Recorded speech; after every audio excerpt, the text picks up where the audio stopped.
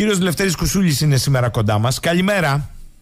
Καλημέρα κύριε Σαχίνη, καλημέρα στην Κρήτη, καλημέρα σε όλους και σε όλες. Α, είμαστε στην τελική ευθεία. Και ενώ Έχουμε όλοι... ακόμη πέντε εκλογικές εργάσιμες ημέρες. Ωραία το είπατε. Κοιτάξτε, θέλω να ξεκινήσουμε με αυτό της αποχής. Δηλαδή τα κόμματα φαίνεται ότι έχουν αντιληφθεί ότι είναι ο μεγάλος αντίπαλος μεν, αλλά ο πύχης είναι για τα ποσοστά και όχι για τους αριθμούς των ψήφων. ναι, αυτό είναι ακριβές. Την Κυριακή το βράδυ θα καταγραφούν ποσοστά και στη μνήμη των ανθρώπων θα περάσουν τα ποσοστά. Και όχι ο αριθμός των ψηφοφόρων. Δηλαδή, ακόμη και το ποσοστό της αποχής σε σχέση με τον Ιούνιο, τον περασμένο Ιούνιο, ακριβώς πριν από ένα χρόνο, και αυτό θα ξεχαστεί με την πάροδο του χρόνου. Ε, να κάνω μία σημείωση που έχει πολύ μεγάλο ενδιαφέρον και μ, δεν παρατηρείται στο δημόσιο λόγο συχνά, ότι από τον Μάιο του 2023 έως τον Ιούνιο του 2023, δηλαδή μέσα σε ένα μήνα, είχαμε αποχή, δηλαδή ψήφισαν λιγότεροι 750.000 συμπολίτες μας. Δηλαδή από το 60% είχαμε πάει στο 53,7%. Ήταν περίπου 60 το Μάιο και πήγαμε στο 53,7 τον Ιούνιο μέσα σε ένα μήνα. Η εκτίμηση λοιπόν είναι ότι επειδή η φύση της εκλογής αυτής είναι χαλαρή όπως σωστά λέγεται σε εισαγωγικά η λέξη, θα έχουμε νομίζω μεγάλη εποχή κάτω από το 50% την άλλη Κυριακή. Κύριε Κουσούλη, η αποχή μπορεί να μεγαλώσει και να μεγαλώσει και σε σχέση με πέρσι, με τον Ιούνιο που σωστά είπατε έχει αυτή τη μεγάλη διαφορά, θηριώδη διαφορά και από το Μάιο ακόμη. Όμως ακόμη και με μεγαλύτερο ποσοστό αποχής θα εμφανιστούν ενδεχομένως κόμματα με μεγαλύτερο ποσοστό από τις εκλογές του 19, τις ευρωεκλογές εννοώ.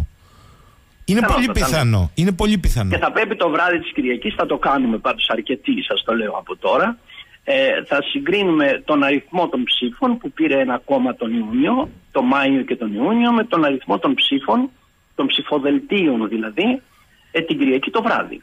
Και έτσι θα έχουμε μια πληρέστερη εικόνα της αποδοχής κάθε κόμματος.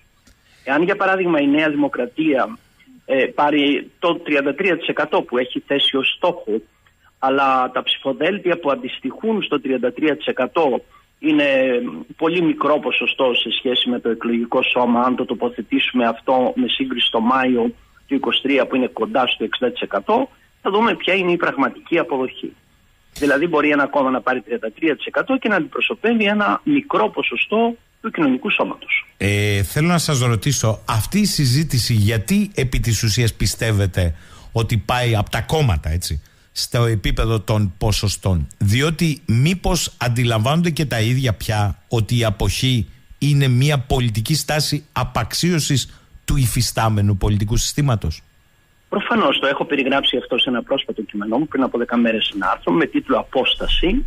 Δηλαδή ότι έχει εγκατασταθεί μια συγκλονιστική χασματώδης απόσταση μεταξύ των εκλεγμένων αντιπροσώπων και του κοινωνικού σώματος και του εκλογικού σώματος. Και έτσι λοιπόν έχουμε μια διαδικασία απομάκρυνσης μεγάλου αριθμού των συμπολιτών μας από την πολιτική λειτουργία, όχι μόνο απομάκρυνση αλλά και αποστροφή. Αυτό είναι μια ήττα της πολιτικής λειτουργίας και τα πολιτικά κόμματα που είναι γραφειοκρατικοί μηχανισμοί εξουσίας και όχι πραγματικά πολιτικά κόμματα, δηλαδή επεξεργαστές ιδεών, προτάσεων και νοήματος, δεν θέλουν να το γνωρίζουν. Στο βάθος δεν τους ενδιαφέρει για να είμαστε ακριβείς. Α, άρα κύριε Κουσούλη και μένω λίγο σε αυτό γιατί θα πάμε μετά στα μεγάλα ε, ζητήματα. Υπάρχει ένα ερώτημα. Λέει ο κόσμος. Μα εγώ θέλω να απέχω για να δείξω τη δυσφορία μου. Ένας κόσμος το λέει αυτό. Γιατί υπάρχει και ο κόσμος που λέει δεν με νοιάζει καθόλου. Θα πάω για μπάνιο. Θέλω να δείξω τη δυσφορία μου στο υπάρχον πολιτικό σύστημα. Υπάρχει ο αντίλογος εδώ. Εσύ δείχνεις την αδιαφορία σου αλλά το βράδυ των εκλογών τα ποσοστά θα βγουν και ενδεχομένως ανώτερα από αυτό που εσύ θα θέλεις να τιμωρήσεις. Τον πρώτο, τον δεύτερο, τον να, τρίτο. Να τον γίνουμε τέταρτο. λίγο έτσι Ναι, ναι. ηρωνικοί και με λίγο και το λεγόμενο πολιτικό σύστημα μηδιά όταν τον ακούμε. Μάλιστα. Καλά το λέτε. Μηδιά. Σου λέει εντάξει, μην πάτε παιδιά, τα νούμερα θα βγουν. Θα ήθελε πάρα πολύ μια μερίδα των αντιπροσώπων, θα ήθελε πάρα πολλοί άνθρωποι να απέχουν πέρα από το γεγονός ότι καταγγέλνουν την αποχή. Ε, στο βάθος αγαπάει την αποχή, γιατί η αποχή ε, αποτυπώνει την αποδυνάμωση του κοινωνικού σώματος έναντι της εξουσίας και των κομμάτων και της πολιτικής λειτουργίας Και αυτό πάντα είναι πάντα υπέρ της κεντρικής εξουσίας, η οποία έχει λιγότερα εμπόδια στη διαδρομή όταν οι άνθρωποι δεν συμμετέχουν. Α, νομίζω ότι το είπατε σωστά. Δηλώνουν κατά της αποχής τα κόμματα, αλλά τρίβουν μάλλον τα χέρια τους. Εξού και η μείωση, δεν είναι για οικονομικούς λόγους, των εκλογικών τμήματων. Είναι που είναι το κλίμα. Άμα δείτε και μια ουρά στα μεγάλα αστικά κέντρα 600-500 ανθρώπων, θα προτιμήσετε την παραλία. Αν η θερμοκρασία είναι Η αναμονή είναι, θα επιβαρύνει κάποιους ανθρώπους και θα αποχωρήσει. Για να καταλαβαίνόμαστε. Ρωτάω λοιπόν έναν άνθρωπο που υπηρετεί με συνέπεια και τη στρατηγική της πολιτικής επικοινωνίας και ως ειδικό. Τι προτείνετε λοιπόν εσείς στον πολίτη, αφήστε τώρα, δεν εννοώ τι κόμμα να επιλέξει, να απέχει και να καταγραφεί ως πολιτική. Οι πολίτες, οι πολίτες πρέπει να συμμετέχουν, δεν το συζητώ. Δεν νοείται συζήτηση πάνω σε αυτό. Η αποχή είναι μια απομάκρυνση από τη συνύπαρξη. Και ακόμη κανείς να πιστεύει ότι κάτι κάνει με αυτό είναι στην πραγματικότητα μια καταδίκη του εαυτού του. Ε, άρα λοιπόν ε, θα πρέπει αυτή η αποχή είναι εις βάρος ε, αυτού που απέχει ε, δεν είναι εις βάρος αυτού ο οποίος ενδιαφέρεται για την αποχή του με την έννοια ότι μπορεί να φοβάται και την απόφασή του. Άρα λοιπόν οι άνθρωποι πρέπει να προσέλθουν στις κάλπες, να εκφράσουν τη γνώμη τους όπως αυτοί κρίνουν και την Κυριακή το βράδυ θα δούμε πώς προκύπτει ο συσχετισμός και τι, πώς μπορεί κανείς να σταθεί απέναντι στο νέο συσχετισμό τη Δευτέρα mm. το πρωί. Ε, ο αντίλογος εδώ είναι αν δεν πάμε ένα 70% απονομοποιούμε το πολιτικό σύστημα. Είναι έτσι; Όχι, δεν έχει καμία βάση αυτό. Δεν έχει καμία βάση αυτό γιατί το, το λεγόμενο πολιτικό σύστημα, έχουμε πει στη χώρα δεν υπάρχει πολιτικό σύστημα, υπάρχει ένα μόρφωμα φεουδαρχική εξουσίας που έχει εξωτερικά στοιχεία πολιτικού συστήματος, ενώ στον πυρήνα του είναι φεουδαρχικό. Ε, εκλεγμένοι βέβαια είναι αντιπρόσωποι, αλλά δεν υπάρχουν πολιτικά δημοκρατικά κόμματα με εσωτερική λειτουργία, αμφισβήτηση και πολιτική δημιουργικότητα. Α, αυτό εννοώ. Στο βαθμό λοιπόν που το 30% θα καθορίσει τα πράγματα θα βγει ένα ποσοστό και το 30% θα νομοθετεί ε, εις βάρος του 70%. Μάλιστα. Το οποίο 30% επικοινωνιακά θα λέω ο Σαχίνης έχει το 45%, ο Κουσούλης έχει το 30, από αυτό το 30, αλλά θα μείνει το 45, όχι ότι είναι. η εικόνα ενός συσχετισμού λοιπόν, ο οποίος δεν ανταποκρίνεται στην κοινωνική και πολιτική βούληση, αλλά αυτό έχει μικρότερη αξία αφού δεν γίνεται αριθμό. Μάλιστα. Τώρα, κύριε Κουσούλη, θέλω να πάμε λιγάκι σε αυτό που κατά τη γνώμη μου είναι εξαιρετικά κρίσιμο. Είναι προφανές ότι δεν είναι εθνικές εκλογές, είναι ευρωεκλογές. Ε, πολλοί έχουν πει ότι το Ευρωκοινοβούλιο είναι ο δημοκρατικός φερετζές μιας παρικμασμένης πια γραφειοκρατικής, ε, πώς να το πω, κλίκας ευρωιερατείου στην Κομισιόν, τα βάζω όλα βαριά, η οποία συζητά για οικονομία πολέμου και δεν εξηγείς στους λαούς τι στοιχίζει αυτή η οικονομία πολέμου, τι στοιχίζουν οι όποιες βίες μεταβάσεις και πώς καλυτερεύουν τη ζωή τους οι οικονομίες πολέμου για παράδειγμα. Αυτές οι συζητήσεις όμως οφείλω να πω δεν είναι μόνο προνόμιο στην Ελλάδα να μην γίνονται. Παρακολουθώ ότι και στον ευρωπαϊκό χώρο σε κάποιες χώρες γίνονται δειλά-δειλά και η διακριτή είναι η ακροκεντροδεξή, ακροκεντροαριστερή και η ακρο-ακρο-ακροδεξή αλλά έχω την εντύπωση ότι όλοι είναι οι δύο διαφορετικές όψεις ενός ίδιου νομίσματος παρακμής. Κάνω λάθος, είναι έτσι; Κύριε Σαχίνη, έχετε δίκιο. Μόνο με μία παρατήρηση, επιτρέψτε μου, ότι η συζήτηση πάντα για τα δύσκολα στα δημόσια πράγματα, είτε πρόκειται για αυτά που λέτε, είτε για άλλα ζητήματα, παράδειγμα για την, στην Ελλάδα, αν πάμε εδώ στην πατρίδα μας, για την επερχόμενη χρεοκοπία πριν η χρεοκοπία ενσκύψει. ε, όλα στην πραγματικότητα γράφονται και όλα περιγράφονται. Ε, Απλώς η συζήτηση αυτή είναι μια συζήτηση του περιθωρίου. Ε, και είναι του περιθωρίου γιατί οι άνθρωποι, ο μεγάλος αριθμός πάντα, σε αυτόν αναφέρομαι, δεν ενδιαφέρονται για τα ουσιαστικά. Δηλαδή αυτό που παρατηρούμε είναι μια συμπλοκή δεδομένων που προκύπτει από τη μία πλευρά από τη στάση των ανθρώπων και από την άλλη πλευρά από τον τρόπο με τον οποίο η γραφειοκρατική, όπως είπατε, εξουσία βλέπει τα πράγματα. Υπάρχει δηλαδή μια σύμπτωση συμφερόντων εκεί η αδιαφορία των πολλών διευκολύνει τη ματιά των ολίγων. Εάν αυτό δεν υπήρχε, τα πράγματα θα ήταν διαφορετικά. Και επειδή στην Ευρώπη έχει εγκατασταθεί μια ευμάρεια πρωτόγνωρη στην ανθρώπινη ιστορία, είναι ένας τόπος δικαιωμάτων, επίσης πρωτόγνωρος στην ανθρώπινη ιστορία, θα δούμε πόσο θα αντέξει. Ε, υπάρχει αυτή τη στιγμή αυτή η συνθήκη που την περιγράφεται πάρα πολύ σωστά. Άρα... Αλλά συμπράττουν οι άνθρωποι σε αυτό. Δεν είναι μια κατασκευή δηλαδή της εξουσίας. Mm. Ε... Παράδειγμα, ακόμη και το στοιχείο της αποχής ναι. είναι ένα στοιχείο που συμπράττει σε αυτό. Δηλαδή, στο βαθμό που υπάρχει μια κοινωνική αδιαφορία, πάνω στην κοινωνική αδιαφορία είναι ευκολότερη μια πολιτική εργασία κυριαρχίας. Αυτό θέλω να πω. Το ερώτημα είναι, πιστεύετε ότι συμπράττουν οι κοινωνίες, έχετε πει για τη δική μας. Αλλά αν ναι, πάμε στις πιο, ας το πω έτσι, πολιτικά ανεπτυγμένες, δεν ξέρω αν είναι. Ναι, ναι, συμπράττουν. Συμπράττουν, συμπράττουν κατά τη γνώμη μου. Το έχω εξηγήσει, αυτό μου επιτρέπετε, δεν με παρεξηγείτε, σε ένα, μια μικρή μπροσούρα που έχω εκδώσει. Με τίτλο Μανιφέστο κατά του επίκαιρου, δηλαδή έχει εξαντληθεί, θα εκδοθεί σε 10 μέρες και πάλι από τον εκδοτικό οίκο Αρμός.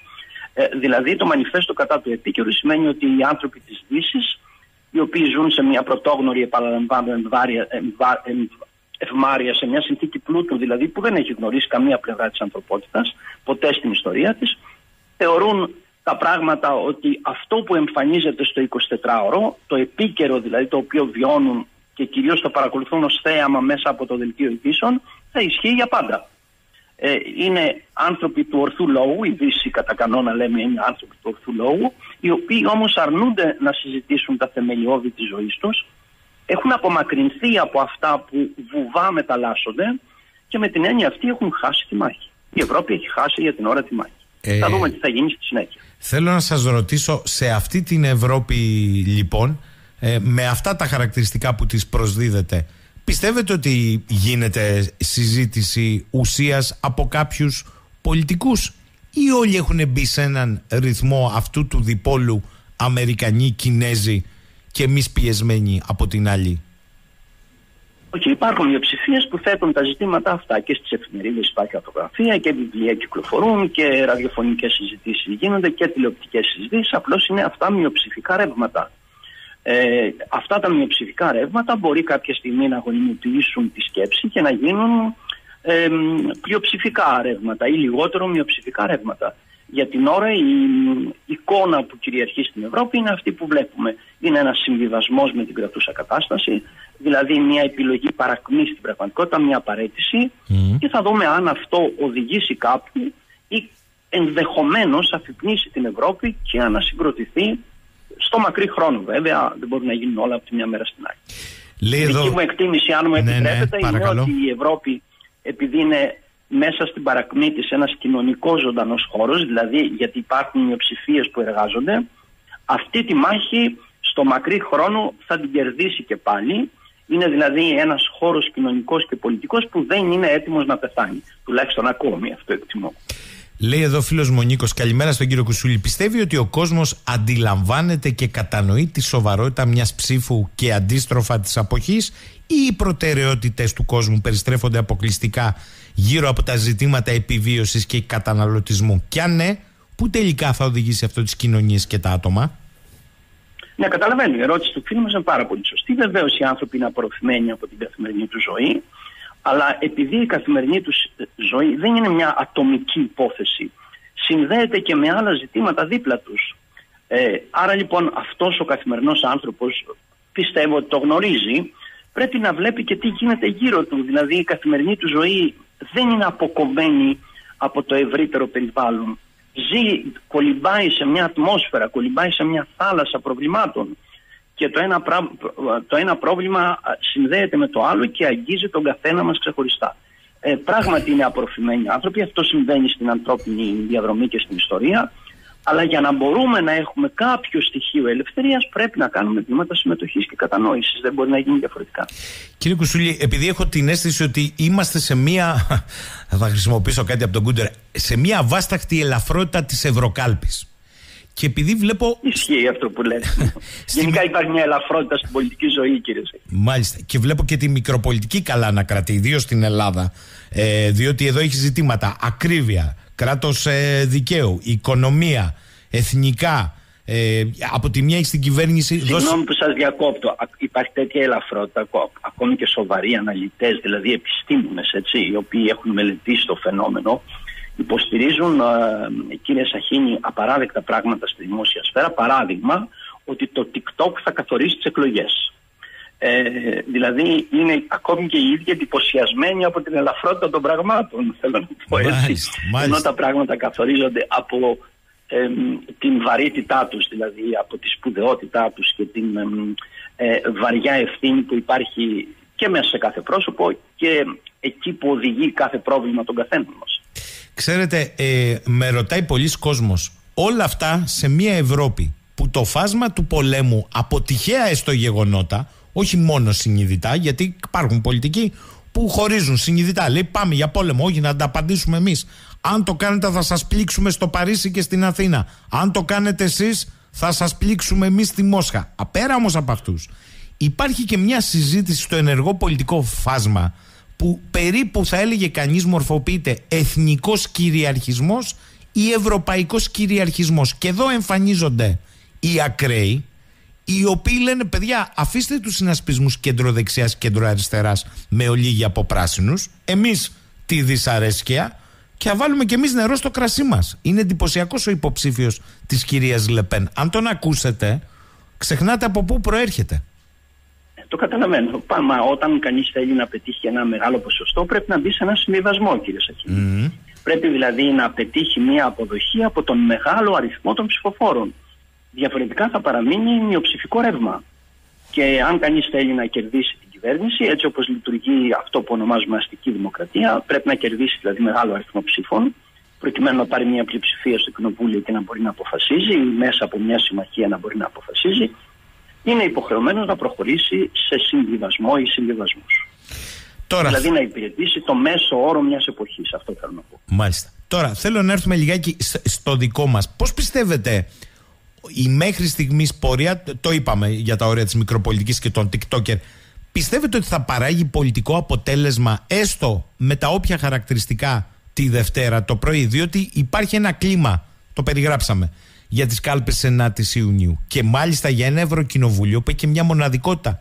Μας αρέσει, δεν μας αρέσει, δεν νομοθετεί, νομοποιεί στην ουσία τα άλλα όργανα, κομισιόν, ναι. ε, Eurogroup, εκουτού ε, και μεταζημίωτο φυσικά έτσι, γιατί μέσα σε μια πενταετία ευρωβουλευτές έχουν κάνει καριέρα, δεν το λέω λαϊκιστικά. Ένα εκατομμύριο ευρώ από μισθούς και επιδόματα, χώρια πόσα μπορεί να βγάλει κάποιος από το λόμπινγκ.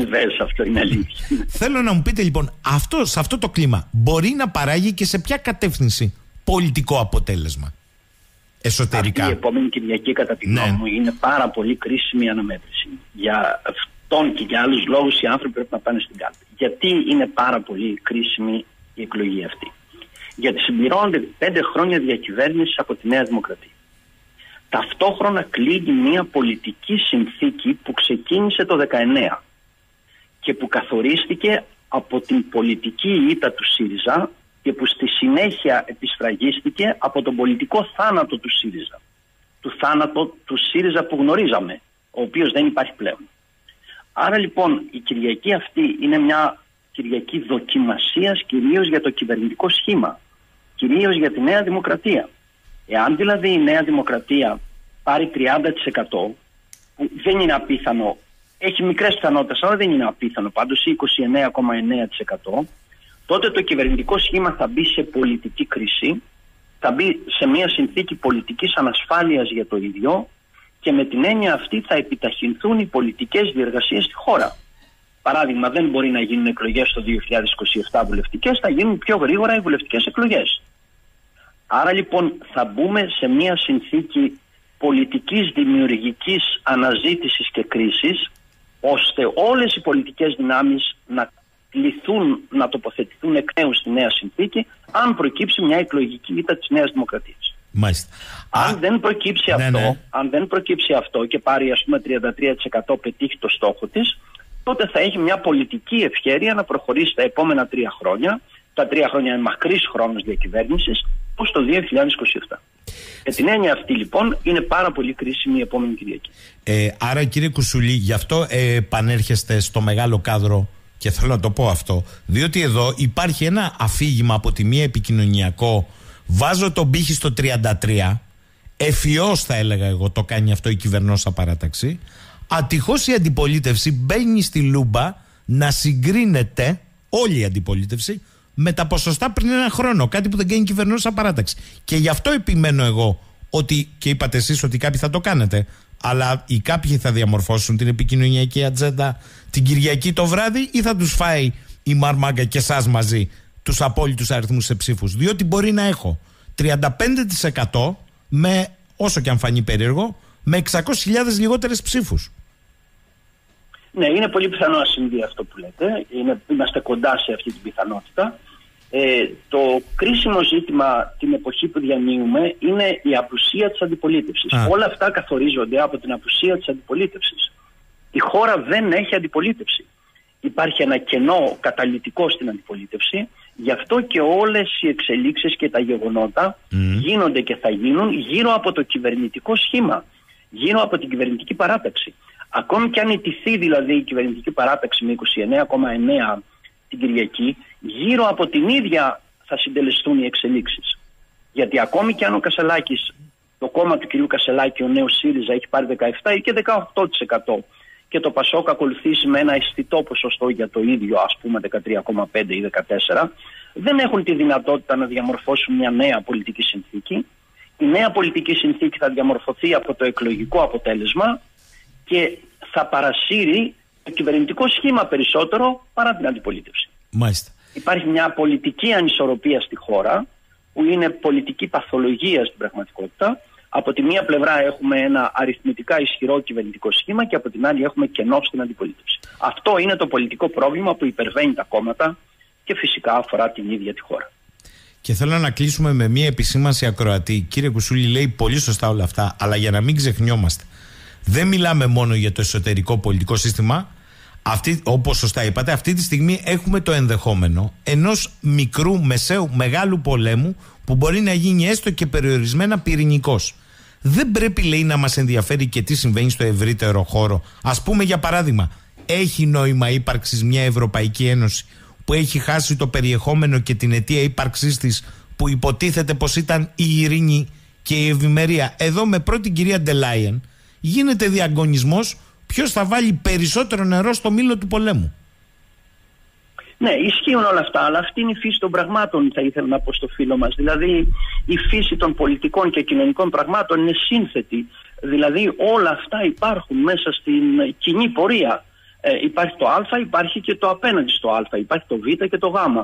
Ε, το πώς εξελίσσεται η ορμή του ποταμού, αν μου επιτρεπόταν να πω, καθορίζεται από το πώς στέκουν απέναντι σε αυτήν οι άνθρωποι, πώς αποφασίζουν, οι αντιπρόσωποι τους τι αποφασίζουν και τι δύνανται να αποφασίσουν. Γιατί υπάρχουν και οι αντιπρόσωποι οι οποίοι δεν έχουν το ψυχικό στένο να πάρουν δύσκολες Άρα λοιπόν μιλάμε για μια διαδρομή ιστορική με έναν ανθρωπολογικό τύπο για το μεγάλο αριθμό των πολιτών και των εκλεγμένων αντιπροσώπων που ενδεχομένως να μην μπορούν να ανταποκριθούν στη συνθήκη της εποχής και να χάσουν και τα πράγματα να μεταβληθούν καθοριστικά.